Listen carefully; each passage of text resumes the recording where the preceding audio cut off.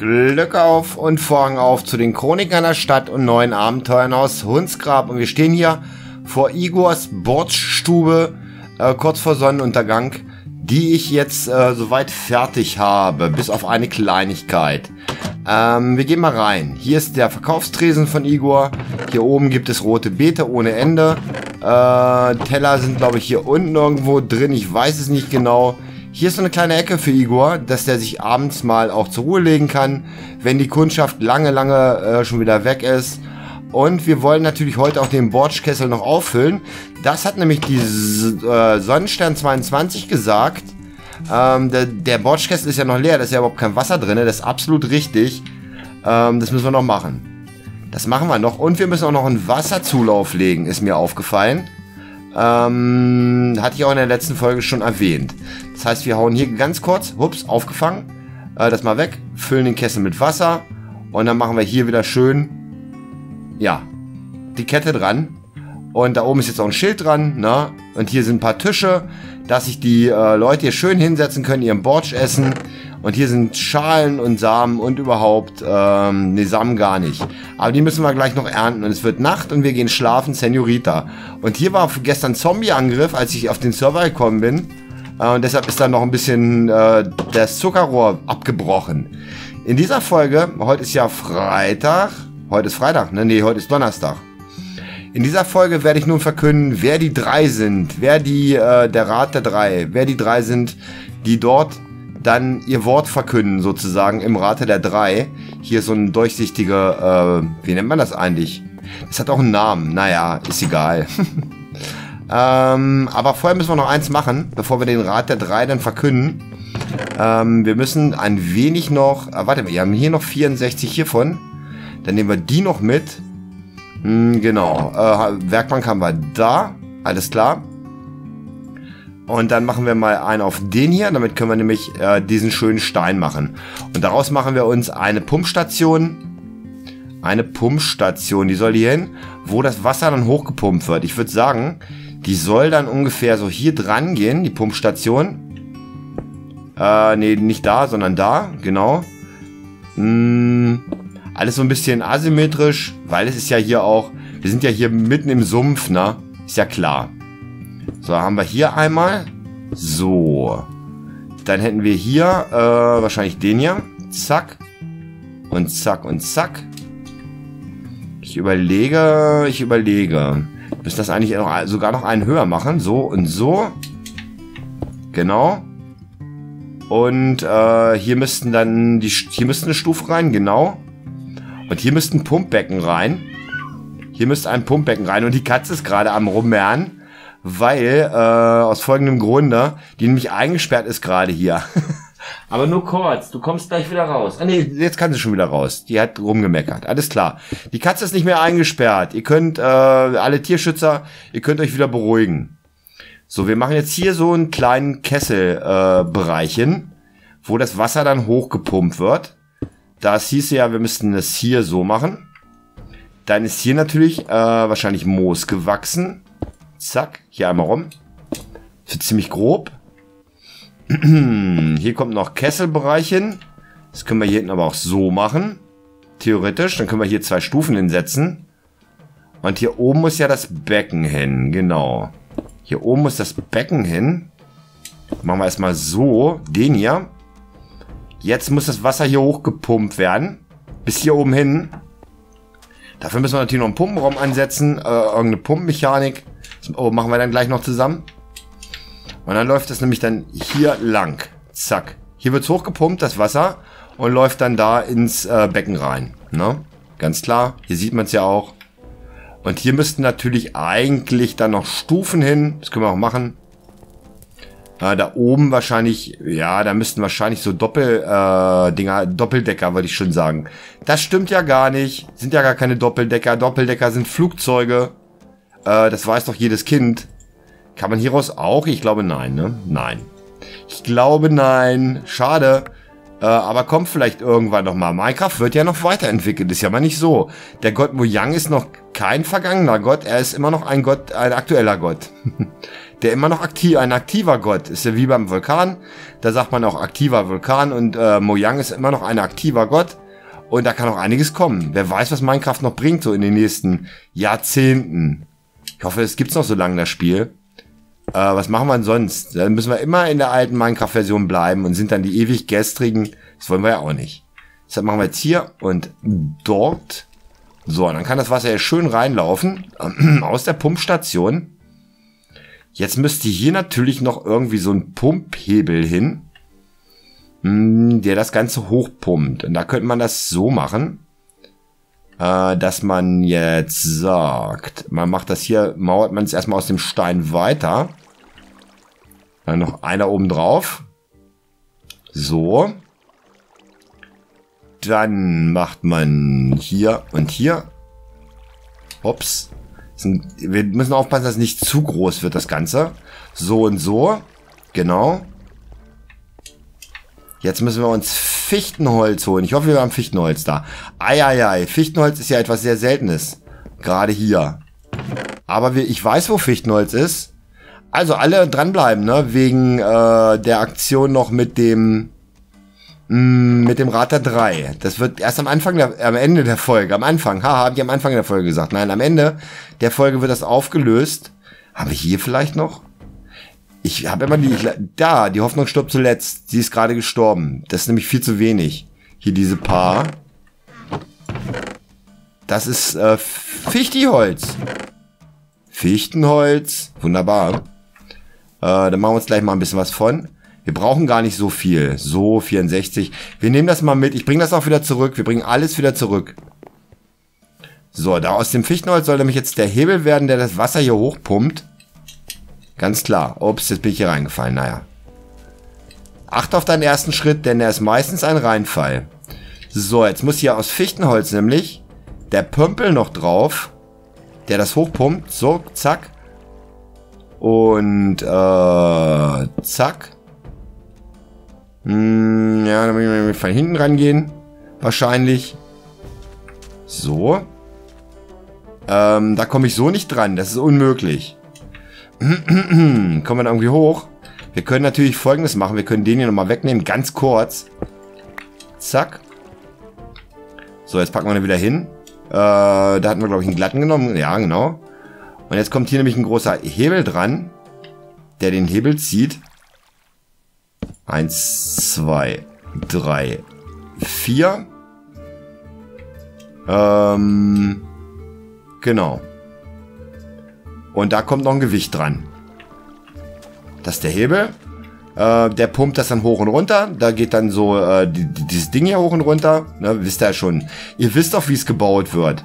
Man könnte natürlich auch hier unten, damit es noch ein bisschen realistischer aussieht. Es ist ja eher doch Zierrad, was wir hier bauen. Ah, könnte man hier unten noch eine Stufe ransetzen. So. So, dann machen wir uns nochmal eine Platte. Haben wir nämlich vier Stufen und vier Platten. Damit kann man immer ganz schön so kleine Details noch machen, finde ich. Und ein paar Ketten brauchen wir noch. Nicht Parkett. ein paar Ketten. So, ein paar Ketten äh, haben wir hier. Was? Das sind keine Ketten, das sind Blöcke von wegen. Zack, das sind Ketten, seht ihr? Ein paar Ketten an den Hebel. So, dann kann man nämlich jetzt hier sagen, hier kommt eine Stufe dran, passt mal auf. Das Ding kommt mal weg. Und hier kommt jetzt eine Stufe dran. So, da hat man nämlich hier den Pümpel.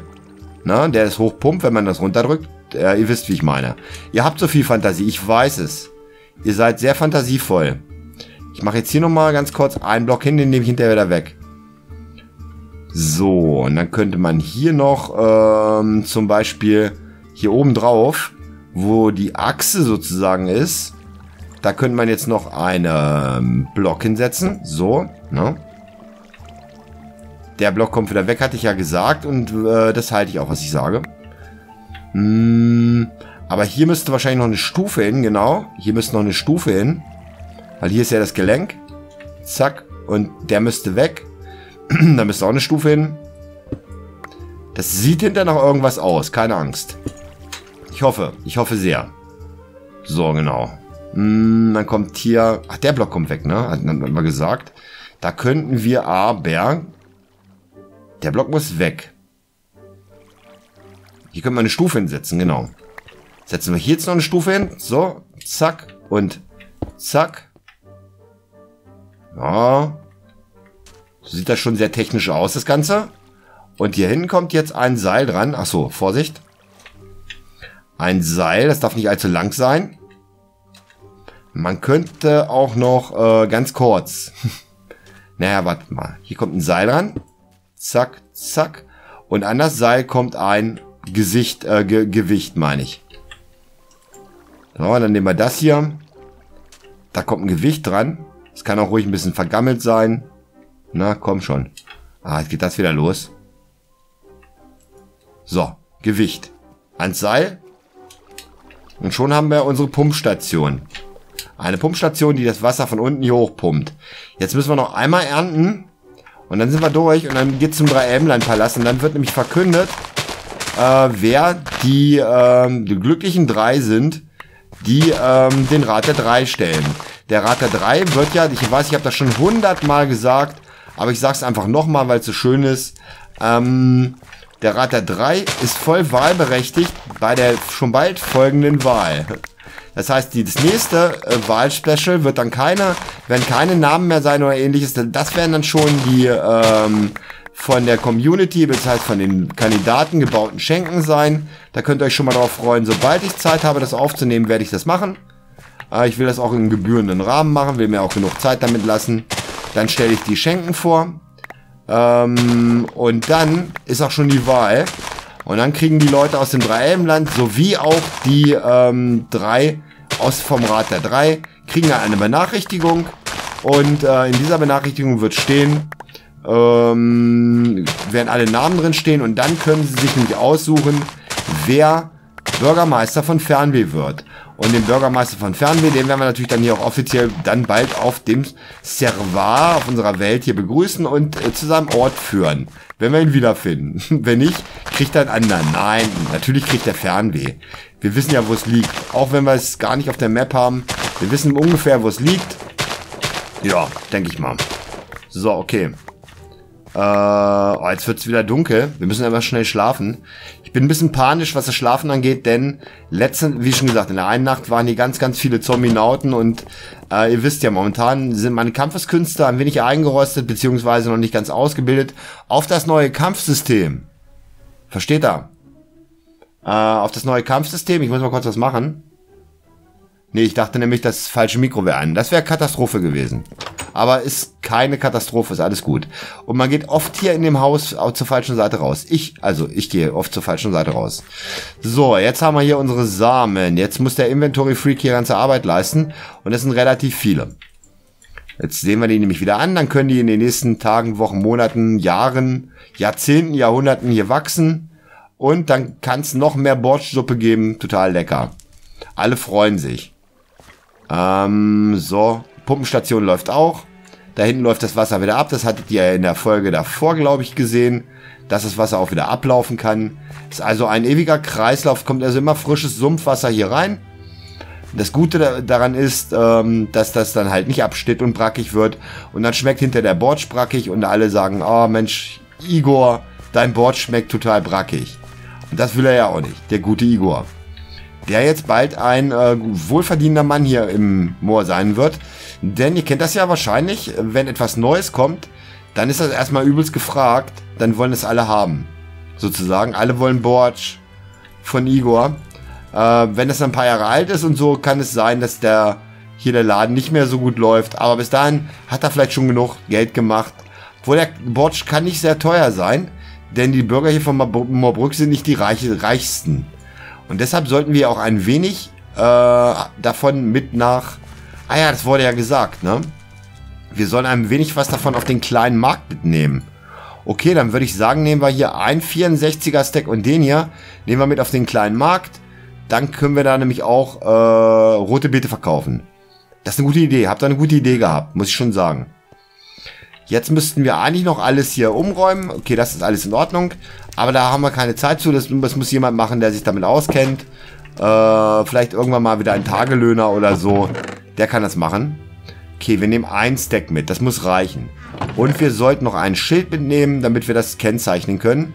Den Rest lassen wir einfach mal hier, weil, äh, ja, weil wir es können. So, das lassen wir alles mal hier. Olles Spinnenauge, ne? Eine Enderperle. Eine Enderperle nehmen wir mit. Hm. So, alles klar, haben wir alles, ne? Zur Abreise. Das Glas nehmen wir wieder mit, das brauchen wir nämlich am Drei-Elbenland-Palast. Deshalb hatte ich das ja eingesammelt extra. Äh, bevor wir hergekommen sind. Hatte ich noch irgendwas? Ach, hier 32 Knochenmehl. Und dann können wir hier doch auch gleich Knochenmehl rausmachen. Sind wir mal nicht so. Zack, machen wir, haben 38 Knochenmehl. Alles, alles gut. Äh, ja, das war's. Wir waren mal wieder in Moorbrück. Auf Wiedersehen, Moorbrück. Hallo, äh, Resthundsgrab. Ach ja, schön. Jetzt kann der Bordstar wachsen. Auf Wiedersehen, Moorbrück. Und jetzt geht's gleich weiter. Am Drei-Elmlein-Palast. Aber erstmal, äh, halt, erstmal mit der Pflicht, ne? Nicht die Kür, die Pflicht ruft mit der Pflicht und auch mit, also eigentlich eine schöne Pflicht. Es ist eine schöne Pflicht, die äh, 3M äh, beziehungsweise den Rat der drei zu verkünden. Freut mich auch sehr, dass die jetzt äh, hier mit und über unser Schicksal unserer, unseres Landes entscheiden im Namen der Community. Das ist ganz wichtig. Ähm, Im Namen der Community, das ist ganz wichtig. Genau. Was ist denn das da für ein Baum? Ein Steinbaum. Langsam versteinern hier schon die Bäume, weil die ewig nicht gefällt wurden wahrscheinlich. Es ist ein recht weiter Weg. Ich hoffe, ihr geht ihn mit mir. Wie so viele lange Wege. Über all die tausend Folgen, die wir hier gemacht haben. Das ist das Hundsgraber Westtor, auf das wir jetzt zulaufen. Und das ist das Lied vom Powerplayer. Wer es nicht kennt, das hat er extra mal äh, für mich damals gemacht. Total cool. Habe ich mich riesig rüber gefreut. Freue mich immer noch jedes Mal, wenn ich es höre. Juhu, wir sind am Markt. Hier ist ganz schön wenig los. Hier müssen wir auch noch mal wieder irgendwas machen. Hier muss auch noch was entstehen. Hier ist ja unser Garten der Künste. Da muss sich ja dann der neue Bürgermeister von Fernweh auch mit einem Denkmal, äh, also mit, einem, mit einer Skulptur sozusagen verewigen. Das wird auch noch interessant, was er da baut. Ja, in Hunsgrab ist soweit alles ruhig. Ein Huhn zieht einsam seine Kreise, kreist einsam seine, seine Ziege. Wir gehen mal hier hinten rum. Beim ähm, Heldenheim hier bei unserer kleinen Heldensiedlung vorbei. Gucken, was hier so los ist. Ist auch ziemlich ruhig in Heldenheim. Ein paar Leute laufen hier rum. Beiseite! Hier ist immer viel los. Hier ist immer recht viel los. Äh, stopp, wir müssen hier lang. Hallo, ich bin wieder da. Else. Darf ich, äh, oh, Entschuldigung, verwechselt. Da oben ist Else. Habt ihr sie gesehen? Da oben ist sie. Was macht die denn da? Auf dem Balkon. Was macht die denn da? Mit wem ist die denn da? Ha, naja. Manche Sachen muss man auch gar nicht wissen. Ha. Und du bist, äh, Igor, dein Bordschlag ist fertig übrigens. er sieht richtig aus wie Igor hier, oder nicht? Äh, ja. Ja, du siehst doch aus wie du heißt. Ich weiß, du heißt Igor. Ah, mein Güte. Diese Neuhundsgraber. Ha. Okay, ich gucke mal auf die Uhr. Oh, wir müssen uns eilen. Wir müssen uns mal wieder beeilen. Ah, wir haben den Bordsch nicht abgeliefert. Arg. Machen wir aber äh, nächstes Mal. Verdammt, den Borsch. Wir haben den Borsch nicht am kleinen Markt abgeliefert. Arg. Sind wir dran vorbeigerannt? Könnte sein, ne? Ich pack den erstmal hier in die Kiste. Der kommt aber dann zum kleinen Markt. Keine Panik auf der sinkenden Titanic. Wir brauchen mal Schilder. Ähm... Nö. Wir brauchen mal Schilder irgendwie. Ähm, ja. Okay. Wir haben noch Schilder irgendwo, oder nicht? Hier keine Schilder? Nein. Okay, dann machen wir uns welche. Zack, zack. Ganz exklusiv jetzt für die, äh, den Rat der drei äh, Schilder gemacht. So, zack. Drei Stück. Passt ja. Hm. Ähm, und dann gehen wir mal rein. Und äh, ja, es war jetzt noch äh, kleine Lebensspende der Drachenwacht. Ah, cool. Grüße Delfino.